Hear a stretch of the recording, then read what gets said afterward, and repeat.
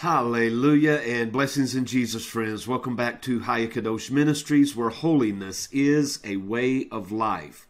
Jesus is truly King of Kings and Lord of Lords, and the Holy Bible is our only standard for truth. And together, God's people say, Hallelujah. With hearts of joy and praise, the people of God together say, Hallelujah. Well, friends, it's such a blessing to have you back again with us this morning. I trust that you are walking in the Spirit, full and alive of Messiah Jesus, and ready to do and perform the great works that He has set before you. Now, today is September the 28th in the year of our Lord 2017, and this is One a Day for the Soul. Now, a quick note the saga continues. My computer is sick, so I've sent it off to the hospital, the computer hospital. And it won't be back for a couple of weeks, so we're relying upon the old computer. And uh, so our videos may still be a little short, but I'll do my best to get them out and to ensure that I can tell you everything that the Lord has laid upon my heart. Today, our text is going to be taken out of Galatians chapter 5. Now, oftentimes when we talk about the things of God, especially as children of God, we talk about obedience unto the Lord. It's much easier said than done. Now, you know that to be true, and I certainly know that to be true. We are all fighting the same battle. We are fighting against the flesh, and we are seeking to be true in walking in the Spirit. But that's not always easy, like I said. Now, our text, Galatians chapter 5, in verse 17, says, For the flesh lusts against the spirit, and the spirit against the flesh. And these are contrary the one to the other, so that you cannot do the things that you would. But back up and look at verse 16.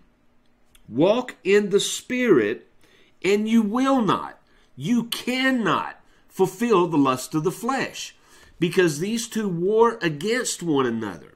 So whatever the flesh wants to do, you know the Spirit of God wants you to do right the opposite. So if the Spirit says pray, your flesh would most likely say watch TV, go outside and do something fun, anything but pray, anything but read your Bible, anything except talk to others about the great things that Jesus can and will do in their lives. But I really want to focus this morning on that idea of walking in the Spirit. And if you walk in the Spirit, you will not fulfill the lust of the flesh. Now, stop and think about that for just a moment. There are many times throughout our day where we become aggravated. Well, we're not walking in the Spirit. We become irritated. Well, we're not walking in the Spirit. We may become envious of others. We're not walking in the Spirit. We may become argumentative or combatant with others where we're not walking in the Spirit. We may involve ourselves in activities or conversations that we know that if Jesus was standing right there beside us, we wouldn't partake of. Well, friends, we're not walking in the Spirit. You see, to walk in the Spirit means that we must be conscientious of each moment, each thought, each word, each action, every detail of our lives so that we can remain in the Spirit of God. And this requires a lot of effort because to remain in the Spirit of God means that we remain with our mind upon the things of God. And so we're thinking from a heavenly realm. We're thinking outside of the domain that we live in. And yet everything that happens sucks us back into this domain, into this world. And so we have our minds upon the things of God, but as activities and conversations and life is going on around us, it's easy for us to get pulled back in to this life.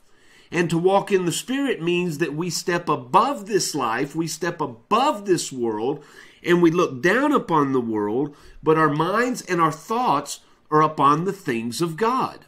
And so, friend, the Bible reminds us of this today because of the importance of it. And the reason that it is so important is because the only way that we can be used of God, by God, is when we are in His Spirit. When we are in the flesh, we cannot be used by Him. So again, we must be conscientious about every detail of our lives, ensuring that it brings glory to God, praise to Jesus in all things and at all times.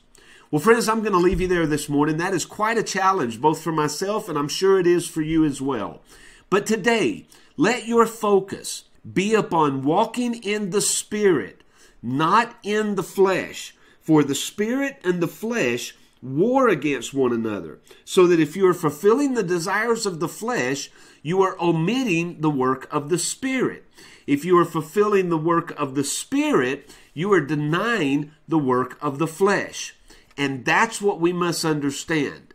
And because we've been born in human bodies, raised in a physical earth, it's very hard for us to get our heads around sometimes the spiritual realm, the spiritual domain, what this means. But you keep working at it, friends, and I promise you will accomplish it. Just like a small baby, a baby doesn't go from an infant to a teenager overnight, nor will you. But if you remain nourishing yourself and feeding yourself upon the things of God and the Word of God, you will grow in the Spirit, friends, and you'll begin to understand things that you never thought possible. Well, friends, I love you again. I'm so grateful that you're here this morning. I pray that your spirit has been blessed and fed, and that the Word of God will lead you and guide you throughout the remainder of your day. Now, as He wills, and until next time, I do love you, and I will see you on the next video.